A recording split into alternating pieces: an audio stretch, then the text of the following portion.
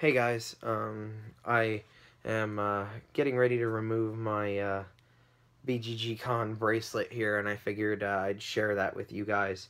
Um, kind of a uh, emotional thing, like this little thing um, symbolizes a lot, actually. Um, and BGG Con is such a wonderful experience every year, and I have such a great time um, with it and being with the people who are there. And this is wearing it a little bit longer lets me kind of hold on to that. Um, but uh, the memories that I have are going to last a lot longer than a bracelet. So I think I'm finally ready to just go ahead and cut this one off. So we're going to go ahead and remove it.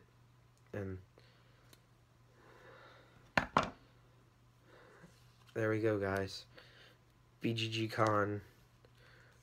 BGG Con 2017 over for the year. Um, hopefully I will see you guys at BGGCon 2018 um, or at other conventions in the near or far future. Uh, thank you guys and later.